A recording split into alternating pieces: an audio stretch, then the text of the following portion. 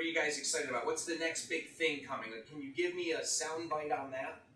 We believe we know how to eradicate cancer completely, not just reducing its risk. Our goal is to create the drug which would eradicate cells which are quarter, half, or three quarters weight towards cancer but not cancerous yet. And that would lead to complete eradication of the foundation for cancer. Andrei Gudkov grew up in the Soviet Union, where his creative thinking and scientific discoveries during the Cold War gained him international praise and accolades. In 1990, Gudkov came to the United States as a visiting researcher at the University of Illinois in Chicago. Gudkov's career then took him to the Cleveland Clinic, where he founded his own biotech company, Cleveland Biolabs, to pursue further studies of a promising new treatment. And at that time, we happened to invent a completely new approach to protect tissues from radiation and chemotherapy, which used the inventions of uh, bacteria, like antibiotics, for example, for treating diseases. His research on the effects of radiation on the body has not only shown potential in the way cancer is treated, but also shows promise in other applications. The Department of Defense has also shown an interest in Gudkov's radiation research and how his findings could assist those who have been affected by nuclear radiation worldwide. Several years after Cleveland Biolab's founding, Gudkov traveled to Roswell Park. Dr. Gudkov came a few years ago to just give a seminar. He blew everybody out of the water. And it caused many of us to think, hmm, I wonder could we get this guy? Could this be somebody we could recruit here? It's incredibly difficult to recruit someone with the stature of Andrei Gudkov.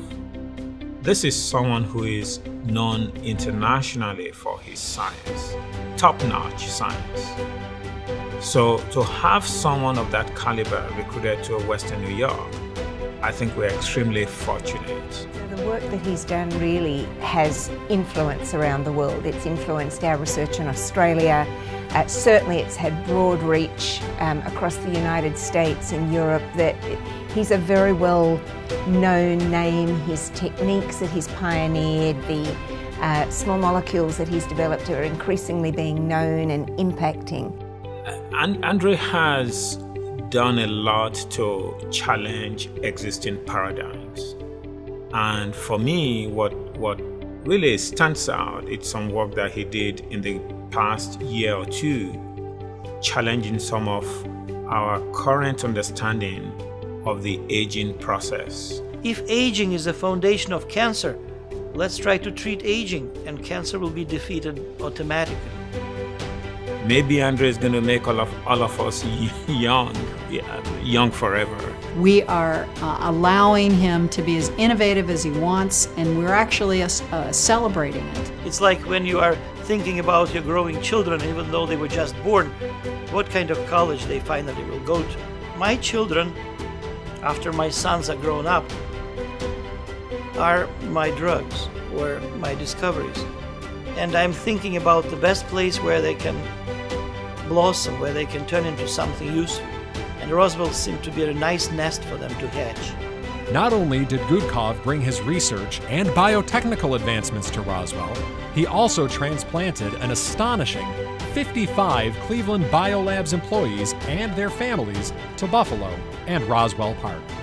I, I think it's incredible. So that experience by itself speaks volumes about what kind of man this guy is. You're inspired just to be in his presence as another scientist at Roswell Park. So he inspires all of us to be better scientists. He inspires us all to think a little bit more out of the box, not be sort of stuck in our paradigms of science, but to think more globally. So he, he's a great inspiration to the other scientists here. And he raises the level of science at Roswell Park. Along with his research pursuits, Gudkov takes the time to mentor those around him. I consider him my teacher and uh, I learned a lot from him and I'm continue learning from him. There is nobody else to whom I always want to discuss every finding I do. Even if you share an idea with him, he immediately sees it in 1,000 different ways.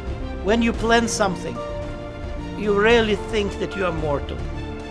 However, intuitively you pick tasks which you realistically can do within your lifetime. So if I do something, I definitely mean that I will see fruits of that within my life.